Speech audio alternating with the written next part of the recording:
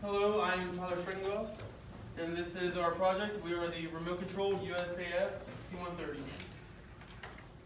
I am a senior electrical engineering student. I am a traditional option as well.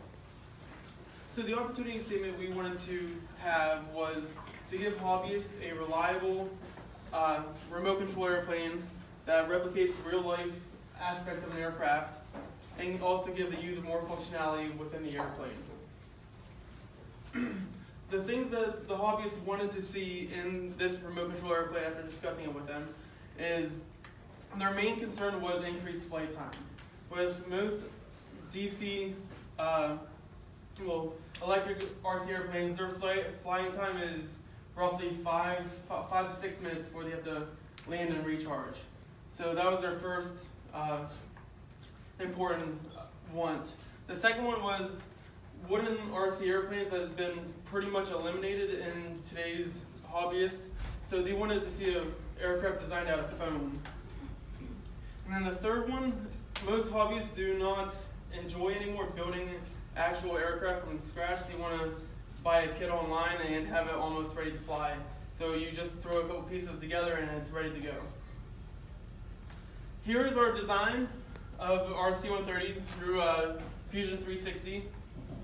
As you can see, there is our four motors, which are replicated by uh, four DC motors with 8 by 6 uh, props attached to it.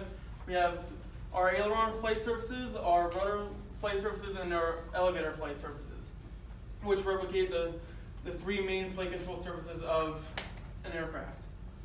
To, to implement a, a longer flying time, our group decided to use the solar panel layout on top of the on top of the wings, as you can see right here. So with this solar panel layout, there is three sets of four solar cells. One set of four solar cells is uh, wired in series, then the other four is wired in series, and the other four is wired in series. This would give each set of four a total voltage of 2 volts and a total amperage of 4 amps. The way the solar, solar panels work is if you wire them in series, voltage will increase, current will stay the same. If you wire them in uh, parallel, uh, voltage will stay the same and current will increase.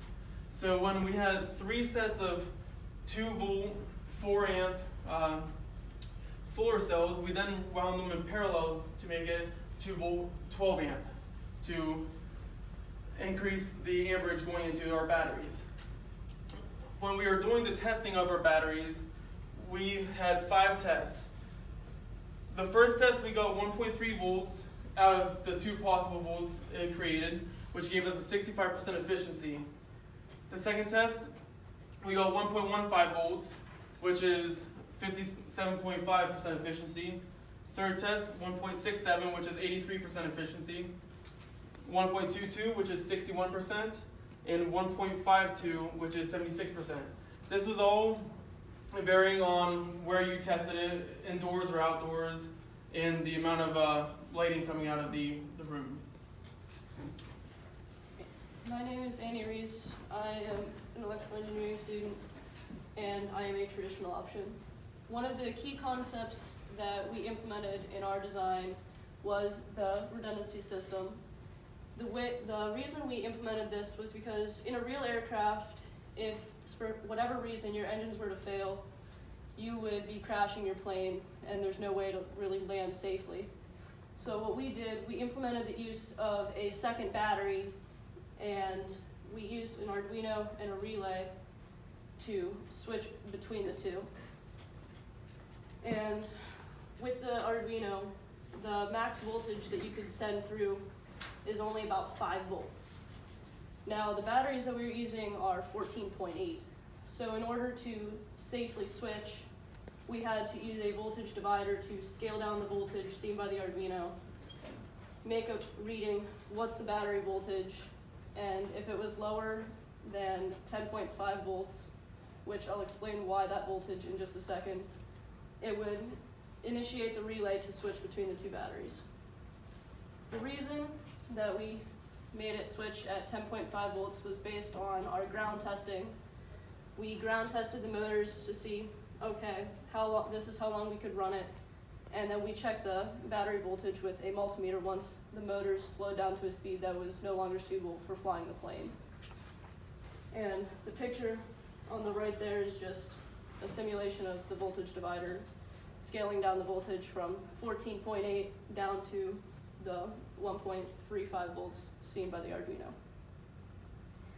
And then it might be a little bit hard to read, but I'm just going to walk you through the code real quick.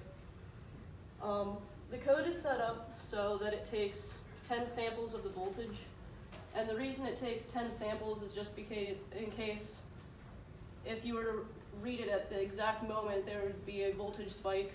It just would calculate the average instead, so you're not, so you're just getting a more accurate reading. And then if you go to a couple lines down, you're just setting the relay, because relays are active low instead of active high. So you just set it up so the relay's inactive first, then put it through a continuous loop, so the Arduino's just doing this over and over. And it will read the voltage of our battery, calculate the average, and since it's an analog value, it's, there's a little bit of an ADC conversion. And then the next page, the bottom part just describes, it's making the reading. Is it lower than ten point five volts? And if so, it'll initiate the relay to switch and over to the second power source. And if it's greater than ten point five, nothing will happen, it'll just continue running as normal. So, hello, my name is Jacob Henry. Uh, I'm a traditional electrical engineering student here. And for our manufacturing process, we worked with Vista AST, who owns the Invention Cloud 3D printer system. Um, and what, what they do, what they do is they're a uh, rapid prototyping uh, firm. So not only do they help with education, but they work with rapid prototyping technologies such as laser cutters and 3D printers to help them create new products, more for educational purposes, but that, that's uh, divergent topic. So what we used um, originally um, for our first iteration of the design, we were thinking about using interlocked slices after we developed the uh, previous 3D model here. We were thinking about developing the majority, or at least the, the, the wing, through the use of interlock slices, which is a method where we take cross sections spaced out um, evenly over um, over a certain axis, and then we take another cross section to act as the, the support beams throughout um, the rest of the body that we are working with. What we ended up going with though was a stacked slice method. What that means is just purely taking one type of slice and stacking them together to create the majority of the body that we were going to create. Over here is um, what we ended up putting together. And this is how it looks in the program. And how we did this was we used a laser cutter and we ended up using a insulation foam. Uh, we were originally trying to use a very different foam that was of a denser quality that would, we felt would have been more effective, but we will be getting to that later.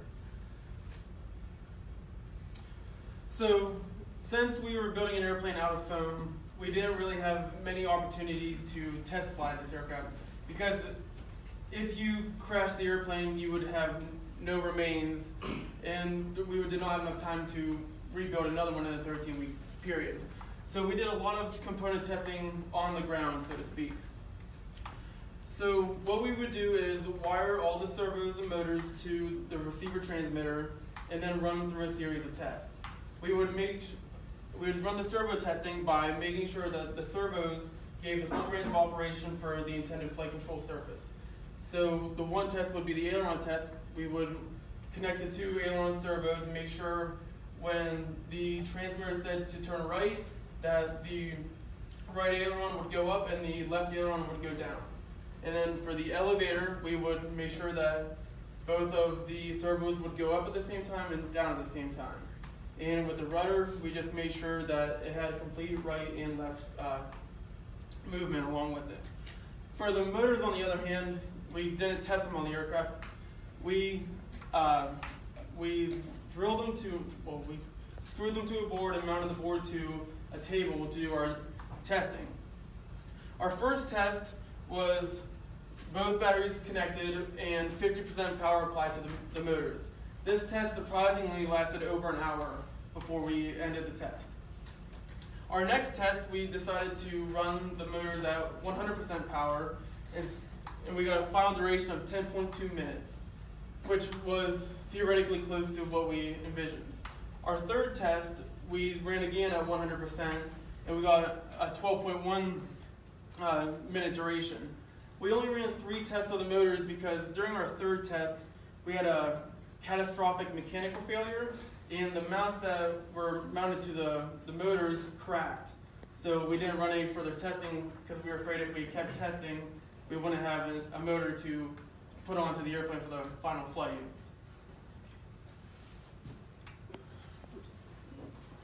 Alright, For our timeline, as you can see, like, the green represents things that were done on time, and the red indicates things where we got a little behind. As you can see, we got a little bit behind, mainly in just ordering our parts and getting them in on time. And that kind of just let us play catch up through the rest of the semester. And manufa- it just set behind our manufacturing and actually actual assembly of the aircraft itself. Most of our expenses, as the group before us mentioned, we had a $300 budget from the electrical engineering department here at YSU. And of that, we spent $297.37 so just a couple dollars left over. But the biggest expense that we made was actually just the batteries, two of them at fifty-five dollars a piece roughly. Was approximately a third of our budget was spent just on the batteries themselves.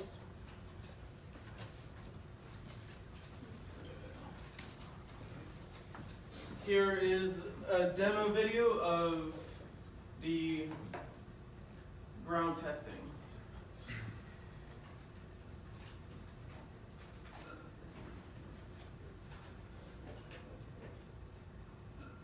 Here you can see the ailerons moving in opposite directions. Then we will move back to the elevator where you can see them moving in the same direction. And then you can see the rudder having full range of operation. And then we did a simple engine start. As you can see right here, this engine is wobbly. That is the one that had the catastrophic failure. Uh, one of the a piece in the internal of the motor broke off during the test, so it wobbled and created a lot of vibrations throughout the uh, test. And the engine on the far right wasn't working because it had a, a delayed response time. So what you'd have to do is you'd have to start the three engines, cut them back down to off, and then start them all four again, and the fourth one would kick on. Now here is the video of our airplane trying to fly.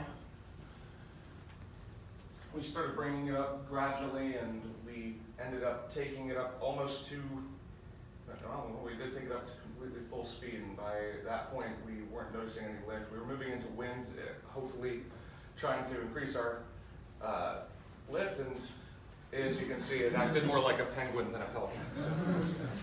So, When we were carrying the airplane to the actual testing field, we noticed a lot of lift being generated just by the wind blowing.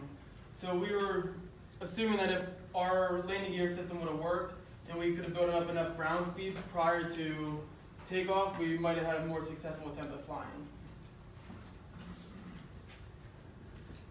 In the future, there is a lot of problems that need to be addressed, obviously, because we did not have a successful flight.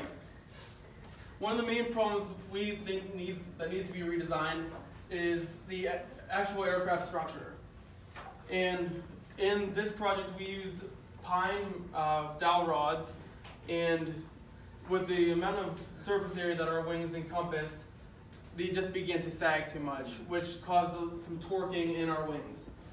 And we so we felt that aluminum piping might be another way to do that. The same quarter inch pipe that we were thinking of using, because aluminum is light, um, it's cheap, and we're, we would anticipate a lot less likely to warp. Um, and possibly revisiting interlock slicing, really rethinking how about how we would do the mounting of the motors through possible 3D printing of a part to attach to those interlock slices, and then covering that with uh, I believe the term is UltraCote, the Yeah. um, material that we would go over it with the heat gun.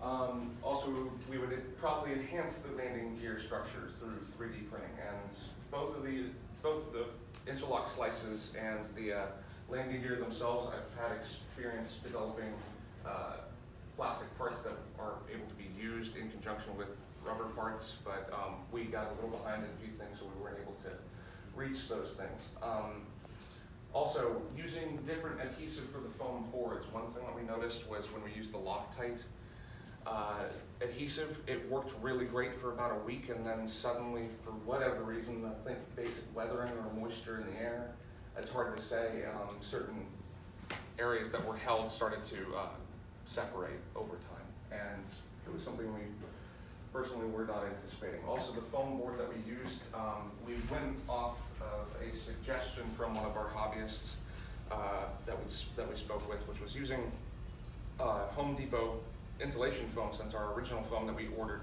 did not come on time. Uh, Actually, it didn't come at all because the.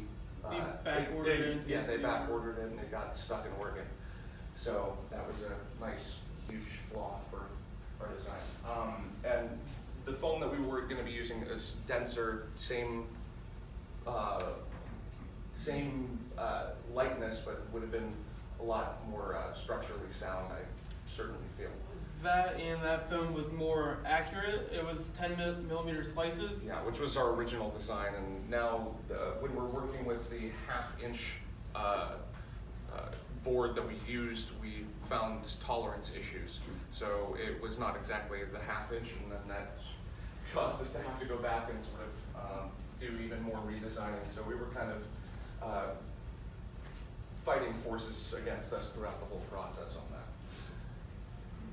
So. In conclusion, this was a great learning experience for us, and we have actually talked about it, and we want to continue redesigning this airplane and hopefully get a working prototype here soon. We think we need some help from some mechanical engineers to help with some of the mechanical systems. We personally feel that this would be the perfect interdisciplinary project to work because it incorporates electrical systems and obviously taking mechanical structure and flying in the air. Any questions?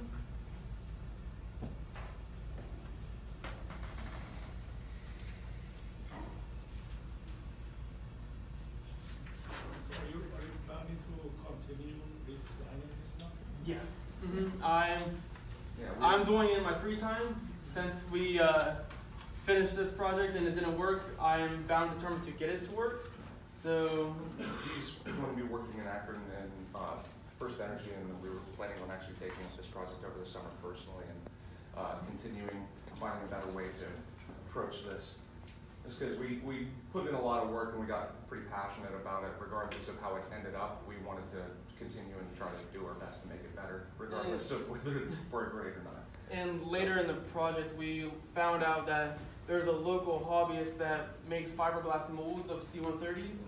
and that would remedy a lot of structural issues that we have. So I've been trying to get in contact with him to see what it would cost to get one of those fiberglass molds so we can propel this into be a real life C-130 scaled down. When, when you were planning got started with this design, I'm talking about this semester or last semester? I've been planning this idea for years. I, ever since I joined the Air Force, I honestly wanted to uh, build my own airplane. So I had the idea a long time ago, and it kind of came to fruition uh, this past semester when me We, Jake we were late to the punch, we joined up on this, this past semester, so. Yeah, we talked about it during last semester, So. and then made it happen this semester. So. Any other questions? Dylan wants to clap, so.